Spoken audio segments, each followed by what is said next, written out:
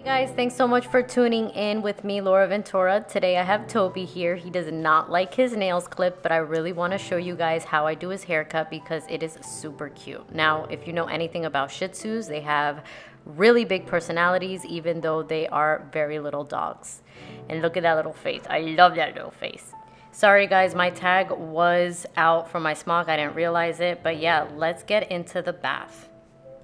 If I turn around, I'm just making sure you guys are still with me. Now it is getting cold here in Orlando, Florida, so I do put my water heater on, and I don't really do this in the summertime because I don't need to, but the water heater really works in these vans. So I'm just switching it over uh, to off, and then I'm kind of putting it to the cooler side. Now I am going to bathe him with Smith & Burton Soothing Shampoo and I'm not going to dilute the shampoo. I'm just going to put it straight on him and I'm going to make sure again that that shampoo is getting to the root. I'm making sure that his paws are really getting smothered in that shampoo and also his butt, his face, and his entire body. Guys, I think I say this in each and every one of my videos. If your prep work is not up to par, your haircut would never look as good as it can. So before I start blow drying him, I am gonna brush him out and I'm gonna make sure that he has no mats. Now, if you are going to leave mats in a dog's coat, you have to go ahead and be prepared to fluff dry and take those mats out as you dry because if not, it's never gonna dry correctly. Now there are different type of dryer heads and there is one that is longer and narrower. Now I'm using the flat one on him because he is a small dog and I just don't want the air to be too forceful for his little body. Toby turned around like this suddenly because he wanted to see what was going on outside.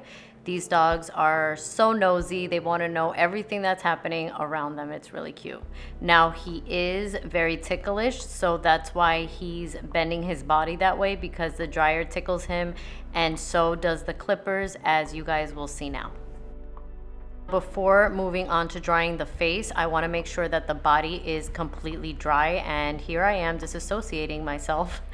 while I'm drying. I don't know if other groomers do that too, but I go into my own little realm.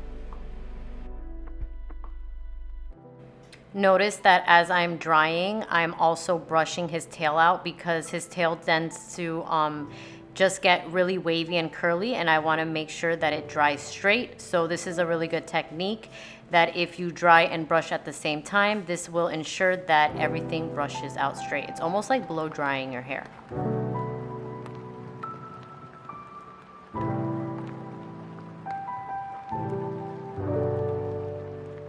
All right, guys, I am gonna start with his sanitary trim. Now I'm using a 15 blade on my Bravura clippers. I always start off with my sanitary trim and it's really good if you are a baby groomer to get into a routine so you're making sure that you don't miss anything. Now, part of that sanitary trim is the paws and then I'll go ahead and do his butt. All right, after I have prepped him, I'm gonna take my one comb and I'm gonna place that on top of a number 40 blade on my Wahl Bravura, which is a five in one blade. I'm gonna take my Chris Christensen comb, which is the father of all combs. This is an amazing comb. If you haven't gotten it, literally, this is what I use now all the time. I don't use any other comb except the half moon one. Now remember when I told you that he's ticklish, that's why he's going to start bending his body and kind of wanting to scratch because this just tickles him. That's all it is.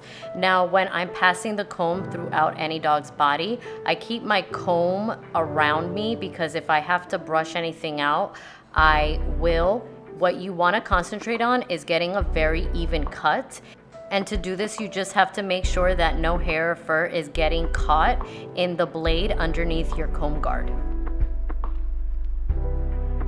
Now I am going to leave Toby's legs a little longer because I want to make them look pretty flowy and his body pretty tight. So what I'm to do is I'm just to skim his legs with the one comb. I'm not to go all the way down and I'm not to press too hard. I'm just to skim it. So all I have to do is scissor and shape it.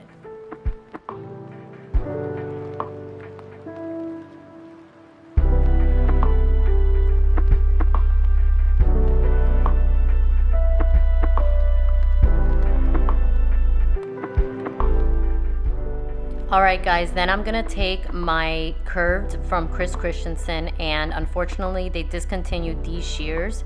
They do have other shears that are very similar, but the curve is a lot curvier than these. I don't know why they're making shears now with the curve so exaggerated. I wish they didn't discontinue these scissors because this is my second pair of these. I am gonna have to find other ones that are very similar, but anyways, I'll link the ones that are kind of like these, but more curved in the link below. So what I'm doing now, after I blended his leg with the comb attachment, I'm just tightening everything up and shaping everything how I want it with my shears. Now I first take off length and I sculpt everything with my shears and then I go in with my thinning shears and I blend all the hard lines and I make sure everything looks nice and flowy. Essentially, what grooming is, is creating shapes with your scissors and your shears and making them look very neat. So if you could see the back of his leg, I'm creating like a backward S shape. It's not a straight line, okay? And I'm making sure that also in between his legs is very just neat and tight because when they walk, his tail is going to be up and if there are little hairs coming out in between his legs, the haircut is not gonna look as neat as possible. Now notice how I flipped my shears and I'm letting that backward curve work for me. This is something that could take a little bit of practice to learn, but once you get the hang of it, it's really cool because your equipment is literally going to be working with you and for you instead of you working against it. So what I always tell people that I'm teaching, make sure that your shears and that curve is working for you and making your life easier. So if you got to flip the scissors, put them backwards, do it. Um, it just depends the shape that you're trying to create. All right, now for his tail, I am not gonna flag it. His tail is nice and fluffy. I'm just gonna leave it that way. I'm just gonna take off length from the bottom. So when he walks, it's at least maybe an inch from the floor. Now, when I'm trimming anything, the comb is going to be my truth teller. It is gonna be my best friend. It's going to tell you if you're gonna cut evenly. So always have it by you. All right, guys, there are four parts to a dog's leg, the front, the back, and the two sides. So all of those four sides have to be accounted for, and plus you got the paw. So the first thing I do is I trim and scissor the paw very neatly. I make sure that the toenails are not showing. And to do this, you have to make sure that you're doing the nails before the haircut. Then I usually start with the inside of the leg and then I work my way to the back and then I do the outer side and then last but not least I do the front. Now I leave the front full because if you take too much length from the front your leg is going to look like an L.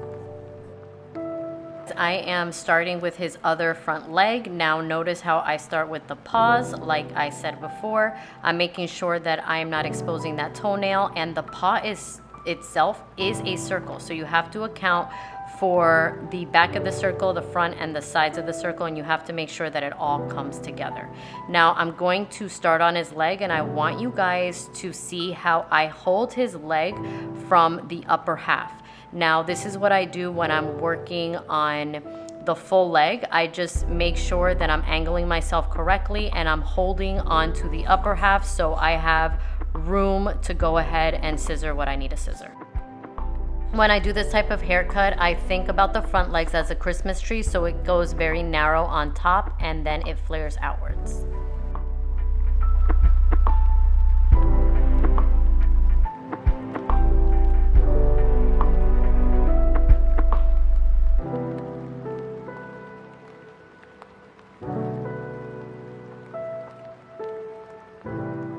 Let's start his face. Now I'm going to take my little guide thinning shears and I'm going to go ahead and take off all the hair in between his eyes. Now I don't take a 10 or a 15 blade to dog's eyes because usually it just leaves a mark and I like it to look natural when they have their eyes scooped out. So I always use small thinning shears. You do have to be very careful around this area. It is a very sensitive area and angulation of your shears is everything. So If you are a baby groomer or a pet parent, please, please don't try this by yourself. I've heard a lot of horror stories from pet parents just trying to take the little hairs in between the eyes out, and unfortunately, they nick the side of their eye. So just be really careful with this area, and if you need somebody next to you that's a professional while you do it, don't feel bad. It is uh, pretty tricky. Next, I'm gonna go ahead and shorten up his visor. Now, Toby does come into All for a trim every other week. I do do a bath and then a haircut in the other session, but when I do a bath, I always clean up his sanitary and I always clean in between his eyes and his visor. So we're just gonna shorten it a little bit more so it's not in front of his eye. Also, I'm going to separate with my ends of my shears, his eyelashes and his visor. If you guys do this, even if the eyelashes are short, this is a really good touch because when you could see the difference between the visor and the eyelash, I don't know, it just looks so cute because it accentuates their eyes.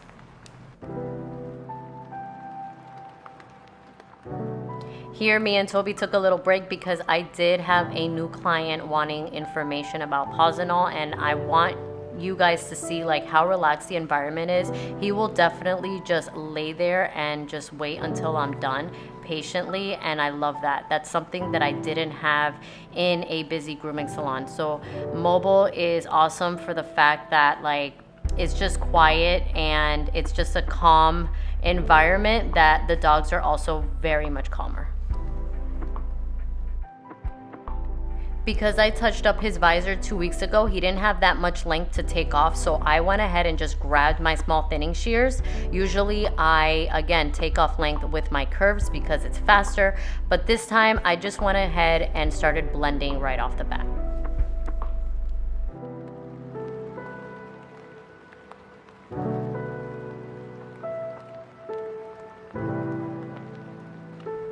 For his ears, I am going to go ahead and take my curves. You could take your straights. Now, I do do his ears pretty short, and then I trim around the leather, and I make sure that that is very nice, neat, and tight, because if you have little hairs coming out of the ears, it's just not a good look, especially if they're meant to be short and pretty much shaved.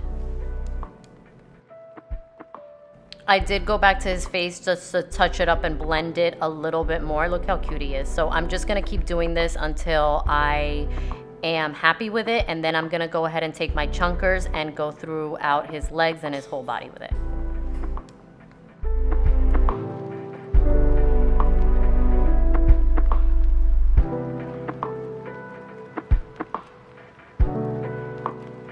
All right, guys, now we're gonna do some finishing work and this is just wrapping up the groom.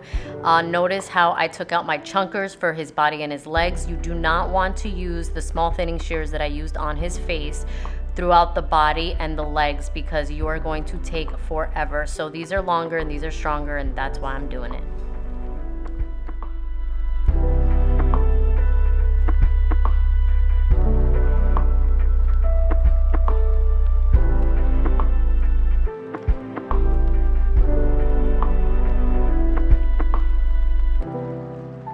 While you're doing your finishing work, you're just concentrated on getting any of the little hairs that you didn't get with the comb guard or your scissors. So this is gonna be your last chance to perfect it and to make everything really neat. So don't skip this part because it makes all the difference.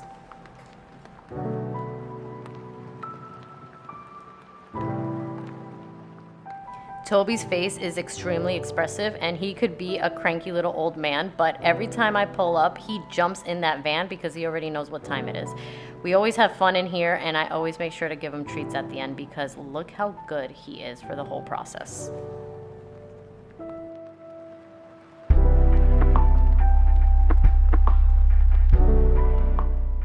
Cute boy Toby is all done. Now we're gonna grab him either a bow tie or a bandana. We're gonna put some serum on him and uh, we're gonna spritz a little bit of cologne and we're going to take him back home.